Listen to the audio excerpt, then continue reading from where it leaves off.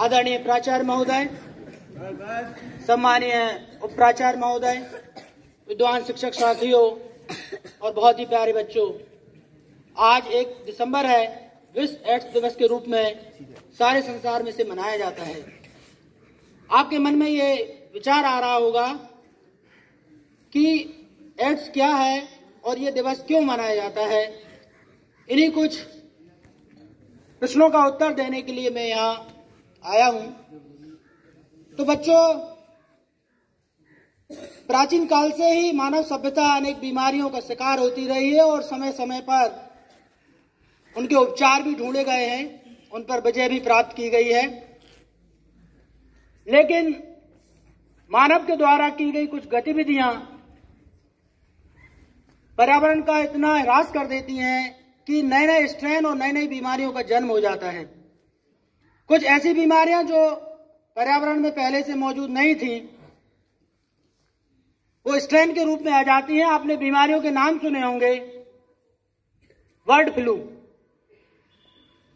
आपको मन में लगता होगा कि चिड़ियों को होने वाली बीमारी होगी, और स्वाभाविक है होती भी थी। लेकिन ये जो मर्यादा मनुष्य ने तोड़ी है, उसका परिणाम है कि बर्ड फ्लू मनुष्य को हो रहा है। पहले ऐसा होता था कि कोई बीमारी यदि पेड़ पौधों की है तो वो मनुष्य में नहीं होती थी, किसी जीव जंतु की बीमारी है तो वो मनुष्य में नहीं होती थी। वहीं उसकी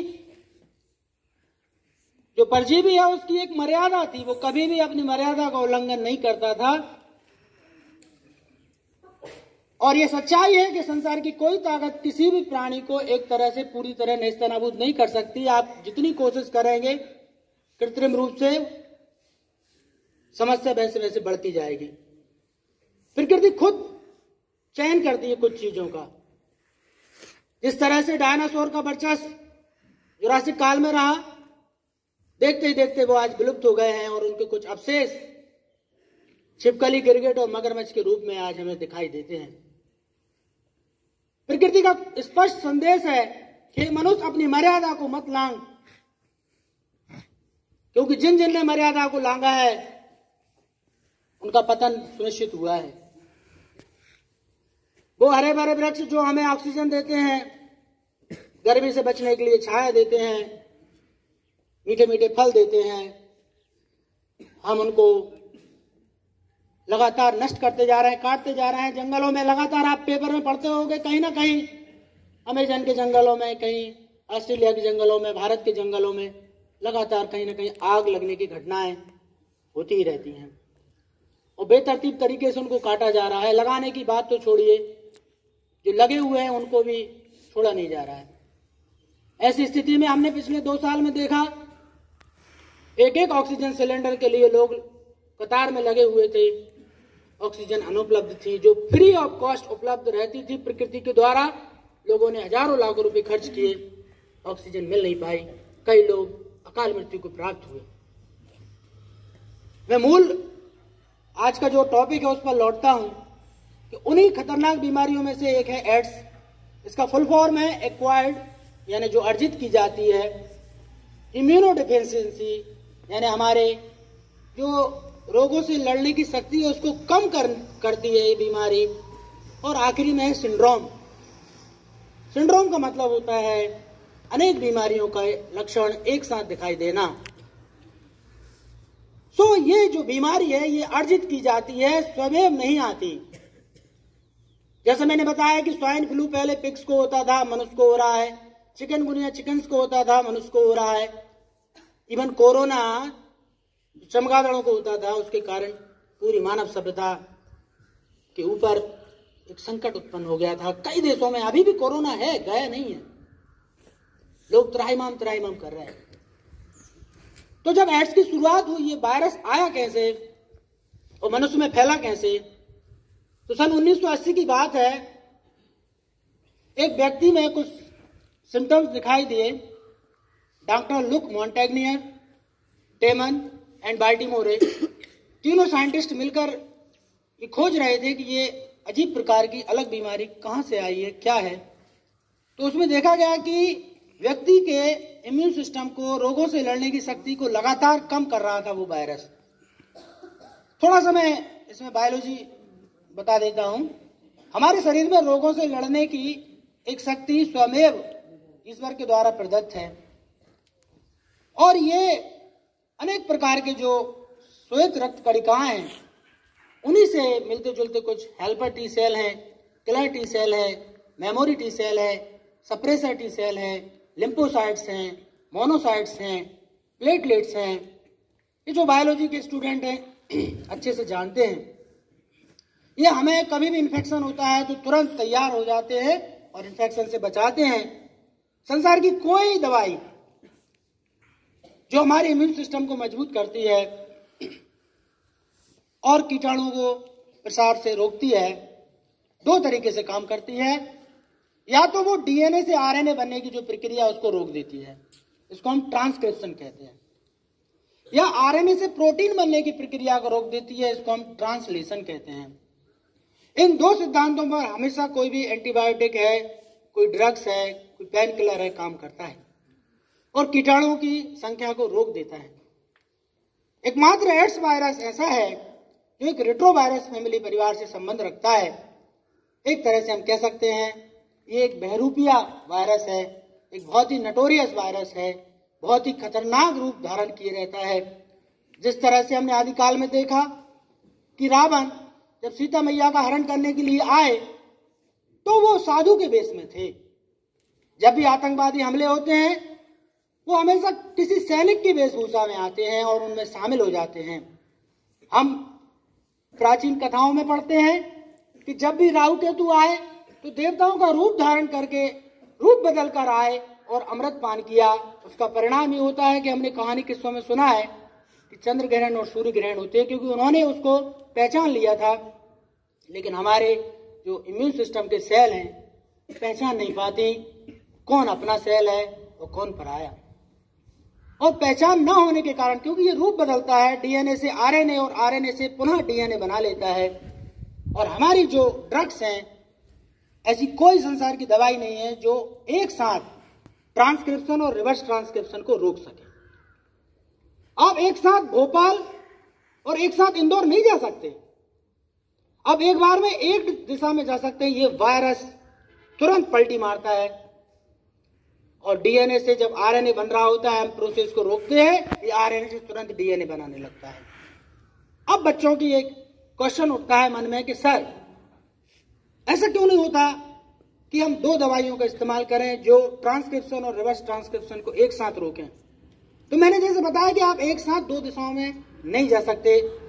हमारी जो बायोलॉजिकल प्रोसेस रहती है, हमारा जो सिस्टम रहता है, वो हमेशा एक लाइन में जाना पसंद करता है। यदि आप उसके साथ कोई ड्रग्स का प्रयोग करेंगे, हो सकता है आपकी जान पर संकट आ जाए। तो वैज्ञानिक बड़े सोच विचार कर इन दवाइयों को बना रहे हैं। कुछ दवाइयाँ बनी हुई हैं एंटी जाइडोबुडाइन है एजेड टी है, जो इस वायरस की ग्रोथ को पूरी तरह खत्म तो नहीं कर सकते। लेकिन यदि अर्ली स्टेज में पता चल जाता है कि किसी संबंधित व्यक्ति को एच आई इन्फेक्शन हो गया है तो फर्दर जो ग्रोथ है प्रोग्रेस है, उसको रोक दिया जाता है। अब पूछते हैं कि भाई ये फैलता किन कारणों से है? तो इसके फैलने के एक मूलतः चार कारण हैं। यदि कोई रोगी व्यक्ति है, उसका संक्रमित रक्त किसी स्वस्थ व्यक्ति को चढ़ाया जाता है तो 100 परसेंट संभावना है कि स्वस्थ व्यक्ति एड्स से ग्रसित हो जाएगा। तो हमेशा जब भी आप ब्लड ट्रांसपोर्टेशन की बात करें, ब्लड ट्रांसफ्यूजन की बात करें, रक्तदान की बात करें, हमेशा पहले चेक कर लें जो व्यक्ति ब्लड दे रहा है और जो व्यक्ति ब्लड ले रहा है, दोनों में एचआईवी एंटीजन नहीं होना चाहिए। पहली चीज़। दूसरी चीज़ होती है एक ही सिरिंज का प्रयोग कई मरीजों में करना। हम जब छोटे बच्चे थे तो उस समय एक ही सिरिंज रहती थी कांच की और एक मोटी सुई रहती थी। गर्म पानी में उसको डाला जाता था, उसका इन्फेक्शन रोका जाता था। हाँ बैठ जाइए यदि आपको दिक्कत हो रही है, क्योंकि थोड़ी सी मैं चाहता हूँ कि आपका कंसेप्ट क्लियर हो। बैठ जाइए। बैठ जाइए। हुआ संक्रमित व्यक्ति के रक्त को स्वस्थ व्यक्ति में चढ़ाने से, दूसरा हुआ संक्रमित व्यक्ति के द्वारा इस्तेमाल की गई जो सिरिंज है, जो सुई है, उसका इस्तेमाल जब हम स्वस्थ व्यक्ति के लिए करते हैं तो उसमें वायरस चले जाते हैं। आप बहुत अच्छे से जानते हैं, कोरोना में आपने दो साल खूब अच्छे से जाना है क्वारंटाइन का मतलब क्या होता है आइसोलेशन का मतलब क्या होता है इन्फेक्शन रोकने के लिए करना क्या पड़ता है, साबुन से हाथ धोना मास्क लगाना दूर से नमस्ते करना, ना कि गले मिलना और हाथ मिलाना। ये कुछ हमारी भारत संस्कृति के शुरू से ये रहे हैं कि जब भी हम घर में घुसेंगे तो बाहर हमारे एक बाल्टी रखी रहती है, पैर धो के ही अंदर जाना। रसोई घर में हर किसी का प्रवेश वर्जित रहता है। आप जब खाना खाने बैठते हैं तो स्वच्छ, स्वस्थ होकर बैठते हैं, हाथ पैर धोकर बैठते हैं। रोज नहाना, कपड़े साफ़ करना ये हमारे प्राचीन परंपरा का अंग रहा है। दो चीज़ हुई, तीसरी चीज़ हुई, यदि कोई माता, जिसके पेट में कोई बच्चा पल रहा है, यदि वो संक्रमित है किसी भी बीमारी से, एड्स बीमारी से तो उसके बच्चे को भी हंड्रेड परसेंट संभावना है कि प्लेसेंटा के द्वारा जब रक्त माँ से बच्चे के अंदर जाएगा तो ये वायरस भी पहुँच जाएगा। और चौथी चीज़ जो रहती है, वो है संक्रमित व्यक्ति के साथ लैंगिक बर्ताव। यानी किसी संक्रमित व्यक्ति के साथ यदि आप लैंगिक संपर्क करते हैं तो भी आपको इन्फेक्शन होने की संभावना बनी रहेगी अब बात आती समाधान की, क्योंकि केवल समस्या बताना हमारा उद्देश्य नहीं है। समाधान भी साथ चलना चाहिए। तो समाधान वही है जो समस्या है। समस्या है कि रक्त, जो संक्रमित रक्त है उसके कारण एड्स फैलता है, समाधान है, संक्रमित रक्त नहीं चढ़ाया जाना चाहिए। दूसरा है कि एक ही सिरिंज का प्रयोग बार बार लोगों में ना करें।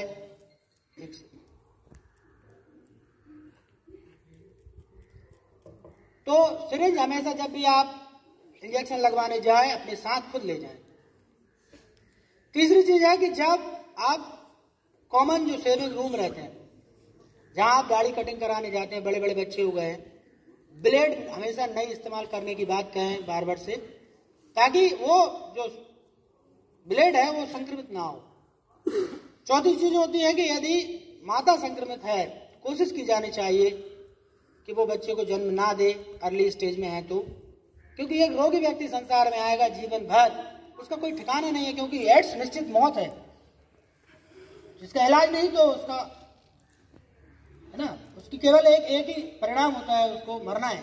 क्योंकि रोज वो, उसका जो इम्यून सिस्टम है, रोज कमज़ोर होता जाएगा और वो काल के घायल में समाप्त जाएगा।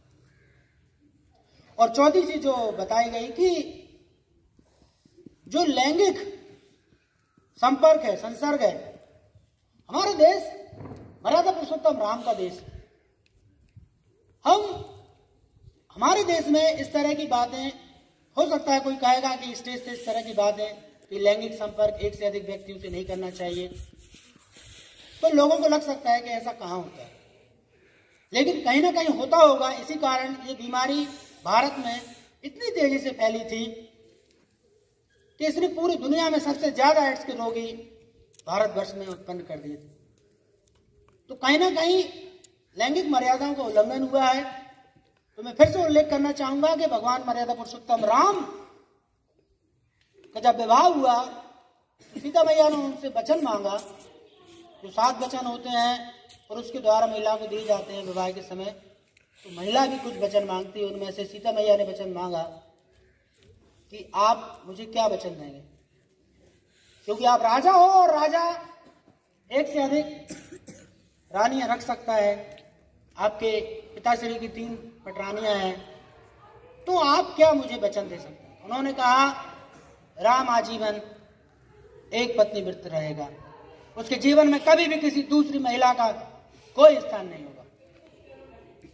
ये सुनिश्चित करते हैं। तो हम भी जब उनको मानते हैं, केवल राम की मानने से बात नहीं बनेगी। राम को मानने से बात नहीं बनेगी। उन्होंने जो आचरण किए किस तरह से उन्होंने अपना धर्म निभाया? हमें भी वैसे धर्म निभाना चाहिए। पुरुष जितने हैं, वो एक पत्नी व्रत का पालन करें।